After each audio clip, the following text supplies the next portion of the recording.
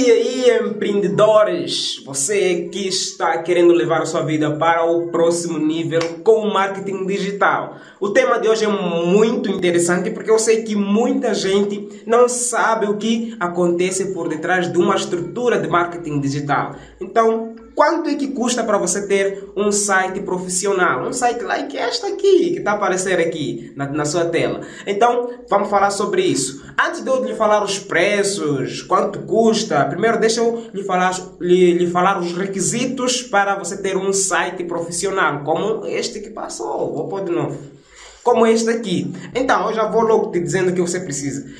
Você precisa de ter um domínio. O que é domínio? É isto que está aparecendo na sua tela aí, que é o nome do seu site. E este nome, você quem escolhe, você quem atribui. Nesse caso, a maioria das pessoas que fazem colocam o seu próprio nome ou colocam nome do serviço ou produto que elas oferecem. Então, vamos supor que você é criador de frango. Então, você poderia escolher o um nome, opa, frangos da Matola, frangos de qualquer lugar, Niassa, Moçambique, tá ou frangos de Pemba. Então você pega esse domínio aí, este nome, vá.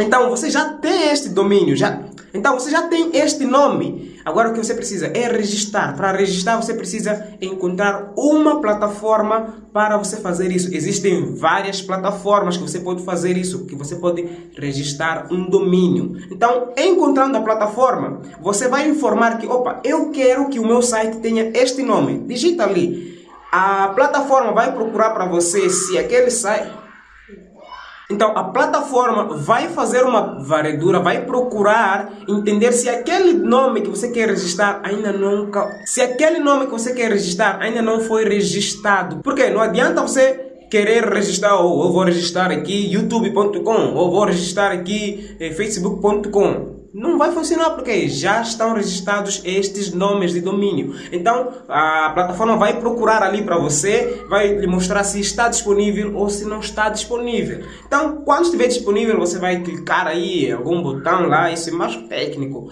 para registrar esse domínio.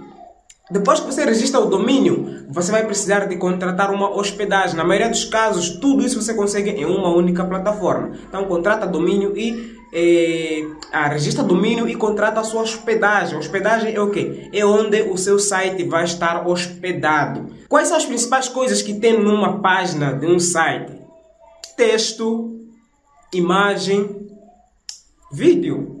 Basicamente, tem outras coisas mais técnicas, códigos HTML e outras coisas, vários scripts, mas basicamente isso. Então, estes textos, imagens, vídeos precisam de estar hospedados em algum lugar e este lugar é chamado de servidor. Então, é um computador muito inteligente, muito grande, com muito espaço que está lá na nuvem, algo online, onde você vai hospedar essas imagens. Então, você precisa de domínio e hospedagem. Conecte esses dois para você conseguir ter o, o seu site aí funcionando. Então, basicamente, você precisa disso. Claro que você logou, preciso disso, já vou. Não vais conseguir fazer nada, precisa de um acompanhamento passo a passo, entende? Então, depois disso, eu vou lhe falar agora quanto é que você precisa para registrar um domínio.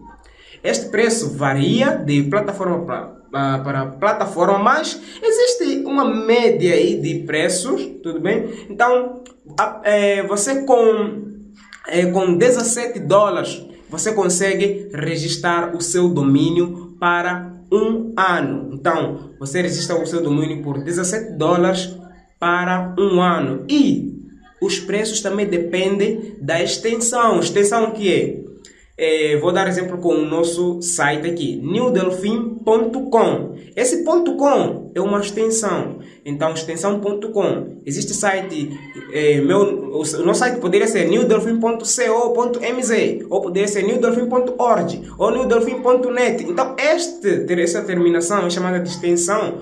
É, também, como posso dizer, os preços variam por causa disso.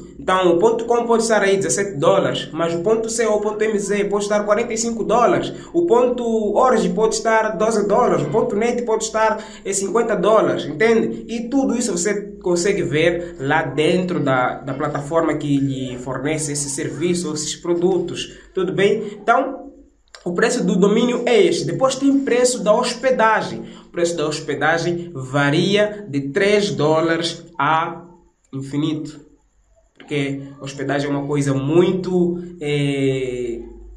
Tem vários planos de hospedagem.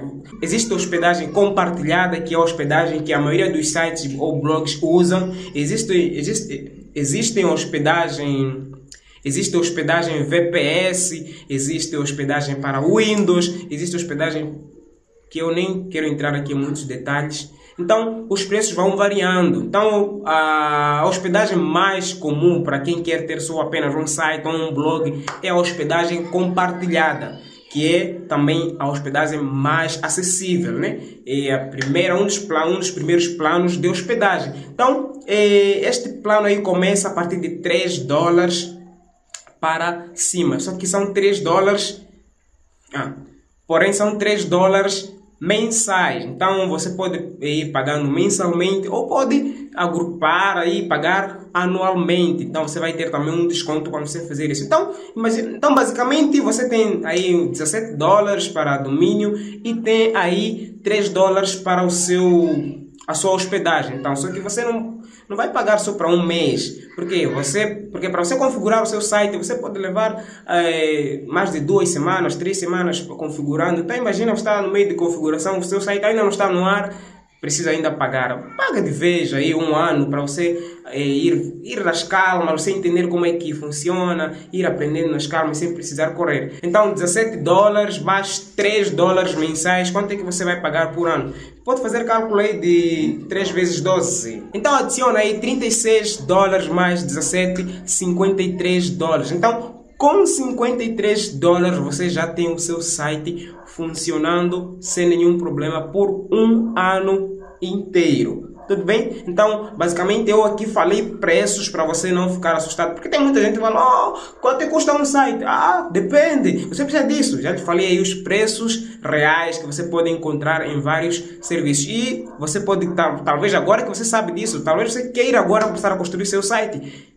Quero deixar aqui embaixo para você um link de uma plataforma que eu recomendo, que é a plataforma que eu uso, é uma boa plataforma. Então o link vai estar aqui, o primeiro link na descrição. Clica aí e contrata seu domínio, a sua hospedagem, registra seu domínio, começa domínio, seu domínio, começa aí a ter o seu site e começar, começar a criar a sua estrutura de marketing digital. Então é isso aí. Não se esqueça que nós somos uma comunidade Coloca aí nos comentários alguma coisa que você gostaria de ver nos próximos vídeos. Ou se gostou, simplesmente diga estamos juntos, gostei da explicação e eu vou nessa. Até mais. Esse é o começo.